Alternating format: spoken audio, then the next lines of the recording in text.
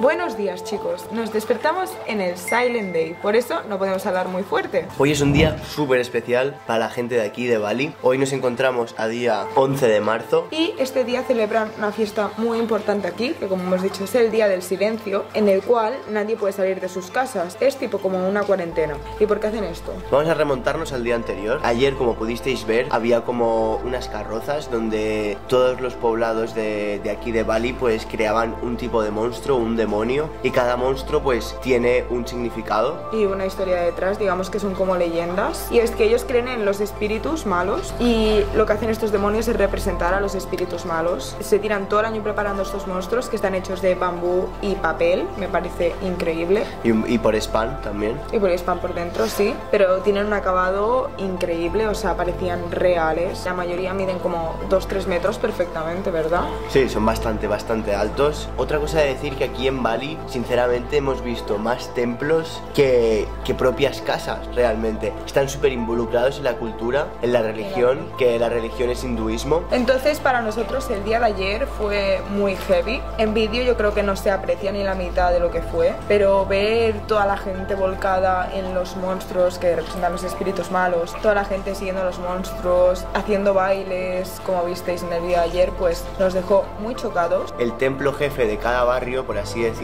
hay un montón de gente joven, porque la mayoría de la gente joven que organizaban, construían los monstruos y organizan un baile, que ese baile pues tiene una historia, es la historia del monstruo. Y es bastante fuerte ver cómo los niños jóvenes pues sienten ese baile y cada tipo de baile tenía eh, un, una música diferente. Que la música aquí es toda percusión, eh, son platillos y tambores. Después de hacer los bailes que visteis ayer, eh, nos quedamos un poco locos porque nos explicaron que antes de la medianoche tenían que quemar al demonio, que era cada monstruo, para que al día siguiente hubiesen menos espíritus malignos, ¿vale? ¿Y qué pasó? Estábamos en, un campo de fútbol y todo el mundo se fue. Y nos quedamos tipo, guau, estábamos aguantando para ver la cremación que tenía que ser espectacular. Y al salir, al final, cuando acabó ya todo el espectáculo, sacaron a todos los monstruos de ahí y cada monstruo, que es como de cada barrio, pues se lo llevaban como pues a su barrio. Y nosotros perseguimos, bueno, perseguimos, encontramos a uno por el camino y nos quedamos ahí presentes un rato. Recalquemos que aquí no hablan muy bien inglés, por lo tanto era muy difícil para nosotros preguntar dónde los quemaban. O sea, me refiero, nos costó un rato encontrar un monstruo. Vaya. Porque muchos nos decían que no lo quemaban, pero era porque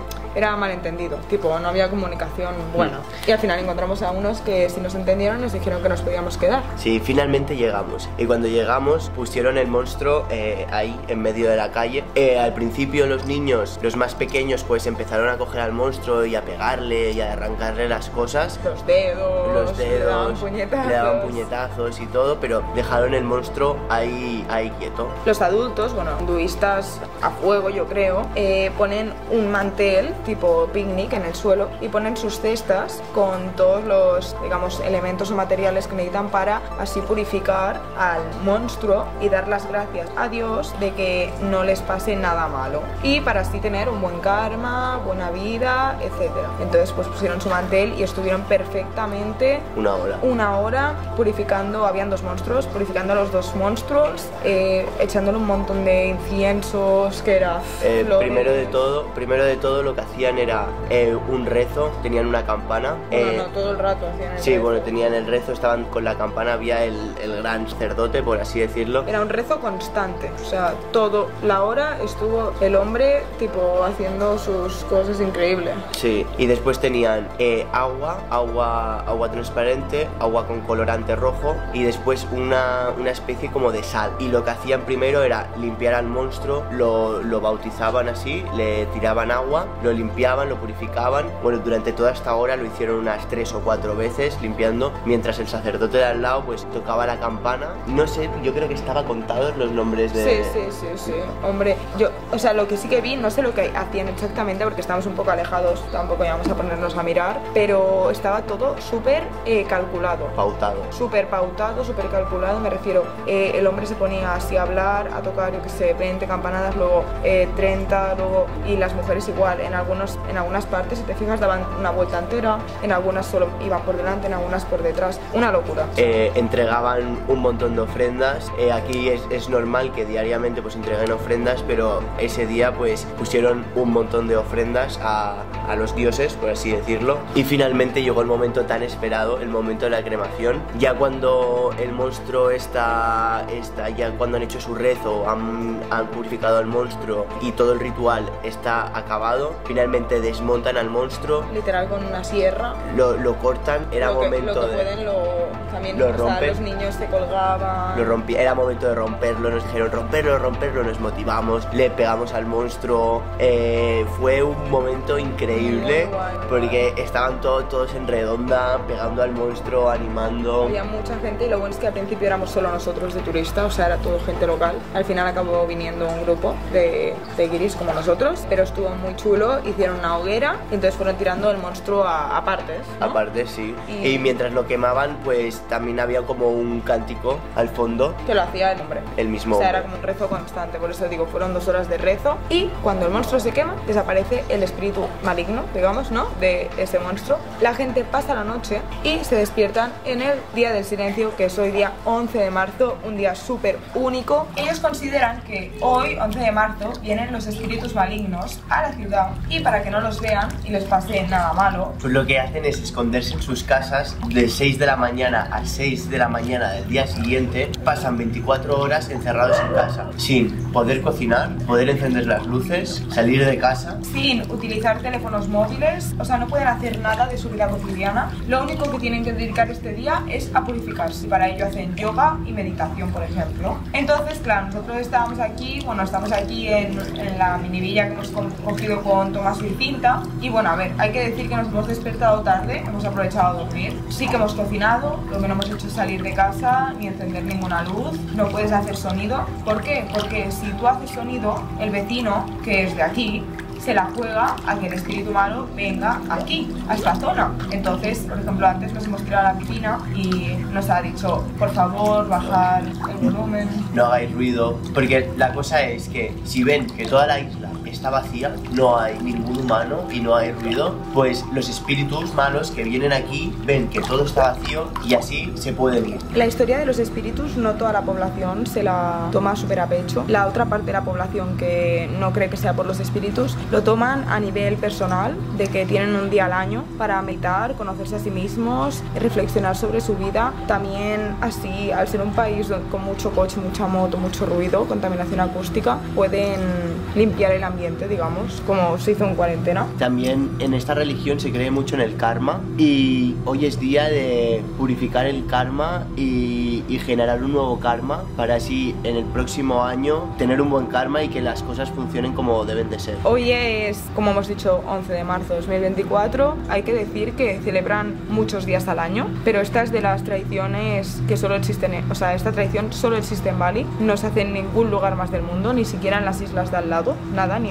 ni en Chile, ni en. Nusa Penida, nada, nada, nada. Entonces eh, nos parece una oportunidad increíble. Hemos conocido la cultura a tope y nos sentimos muy privilegiados de poder estar aquí hoy, aunque estemos encerrados, pero el silencio que hay, solo escuchan a los gallos. Escuchan a los gallos, a los perros, pero ya se ve que los, los pajaritos pues están más, más, más activos. o sea, es un país donde es, es muy natural todo, pero hay contaminación. Acústica y de motor. Y de vamos. motor también, porque son vehículos antiguos y sacan un montón de gases. Y la verdad que cuando tú vas por la calle, cuando hay mucho tráfico, porque son países donde hay muchísimo tráfico, pues respiras contaminación un montón. Hemos puesto un foco porque de repente se ha nublado y se está haciendo de noche. Aquí oscurece en marzo a las 6 de la tarde y ya es oscuro. Cabe recalcar que eh, cuando decimos que no abre nada y no se puede hacer nada, no es solo por voluntad, es que no se puede hacer nada. Tipo, los restaurantes están cerrados, los médicos están cerrados, las escuelas están cerradas, no trabaja nadie, ni Deliveroo, ni nada. Por lo tanto, lo que hacen es cocinar el día de antes y dejan la comida preparada el día de antes. No se puede usar el gas, no se puede usar electricidad. Nosotros, a ver, bueno, lo hemos usado porque... No, a ver, y nos enteramos Y, ayer. y- y respetamos la de esto, pero si tenemos hambre también vamos a cocinar. Sí. También hay que decir que si te ven por la calle, por ejemplo, seas turista y no lo sepas, si te ven por la calle y te, te pilla la policía, que la policía es a lo mejor la única persona que puede estar por la calle, Y no creo ni que haya. No, creo ni que- no lo hemos intentado, pero te llevan, te pueden llevar hasta preso y es una multa con, de una cantidad de dinero bastante alta. y te vas al calabozo, que no es plato de buen gusto aquí en Bali, yo creo, ¿no? No, no. Lo que hemos hecho hoy, quería decir, es nos hemos despertado tarde, tranquilos, nos hemos bañado en la piscina, hemos comido, ahora hemos estado un rato de relax en la cama, no meditando, pero bueno, de relax, Purificando el alma, sí, purificando un poco el alma. que llevamos ya un buen trote. Sí, ahora estábamos descansando un poco más y lo que vamos a hacer es vamos a hacer algo de meditación, yoga, por probar. No somos expertos en ninguna de ambas, pero nos hace ilusión como probar a ver qué tal. Entonces, bueno chicos, hoy no podemos enseñaros Bali, pero os hemos explicado esta historia que creemos que es muy guay. Si podéis venir algún año merece mucho la pena. Perdéis un día, pero tampoco lo perdéis porque con el día anterior y ver a la gente tan volcada es que merece muchísimo la pena. Entonces vamos a dedicar al día a estar relajados Disfrutar, escuchar el ruido de la piscinita, el ruidito de los pajaritos. que normalmente nos escuchan, claramente. Esperamos que os haya gustado nuestra explicación. No hemos hablado muy fuerte ni hemos hecho mucho porque hoy es un día zen. Si hablamos muy fuerte el vecino... Se enfada. ¿eh? Esperamos que os haya llamado tanto la atención como a nosotros. Yo creo que no es nada conocida esta fiesta aquí, aquí no, en España. Entonces, si podéis venir. Disfrutaréis mucho de un día tranquilo. Entonces, nada, vamos a practicar un poco lo que ellos practican. El vecino de delante y la mujer son muy simpáticos, tal vez les pedimos ayuda. Como veis, no hay nada de ruido. Bueno, los gallos. Los gallos. Tenemos gallos de pelea aquí enfrente. Sí, porque aquí eh, los gallos, o sea, el deporte nacional es la pelea de gallos y aquí tenemos al vecino, pues que tiene todo de Tiene gallos ocho gallos, tipo en jaulas. y, y que son para pelear. Antes he, he- he salvado a uno y se ha ido corriendo el gallo. Se ha sacado un Pero el, el hombre no se ha enfadado. No. Yo creo que la ha vuelto a capturar.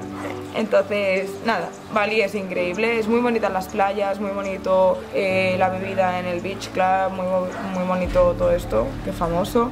Pero qué mejor que conocer el hinduismo y cómo viven aquí realmente los locales, que son, o sea, es su país, bueno, es su, es su isla. Entonces, nada, nos ha encantado, chicos. Espero que os haya gustado, ya sabéis un poquito más de esta cultura que nosotros no teníamos ni idea. Nada. Ya sabéis, si venís en marzo, pues no sé si cada año es No, el no, mismo no, día. es calendario lunar. Es calendario lunar. Mirar bien cuando vengáis a Bali el calendario lunar, porque si no, disfrutaréis, bueno, de un día así, tranquilitos en casa. Entonces nada chicos, vamos a estar relajaditos, esperamos que os haya gustado y nada, un vídeo diferente, pero creo que también a veces va bien aprender un poco, Sí, ¿no? sí, nunca va mal. Tampoco podemos hacer nada chicos, lo sentimos, no podemos salir de aquí. Aprende con asilvestrados, Aprende con las silvestrados, mejor que tu escuela. pero a la escuela hay que ir A también, la ¿eh? escuela hay que ir. Somos un plus. Os mandamos un beso, no olvidéis suscribiros y darnos me gusta. Sí, que siempre va bien. Sí, que nada, llegamos a nuestro paraíso, no sabemos por qué día vamos, por eso ya no lo decimos, pero nos lo estamos pasando súper bien, todo va muy guay y en nada estaremos en otro sitio muy guay donde ya nos asentaremos un poquito, igualmente os lo enseñaremos, Y será nuestro nuevo hogar, por un tiempo, sí. nuestro nuevo hogar, así que nada, hay ganas. Hay ganas, que llevamos de hoteles un mes y cansa, ¿eh? Sí, sí, vaya. Y de villas, una semana, pero... Madre mía, qué cansancio. Bueno, o sea, tío. Así que nada, familia, chao, chao. guaja. Aquí veis a los dos meditando Hemos encendido la luz para... para que lo veáis. Pero en verdad tiene que estar así.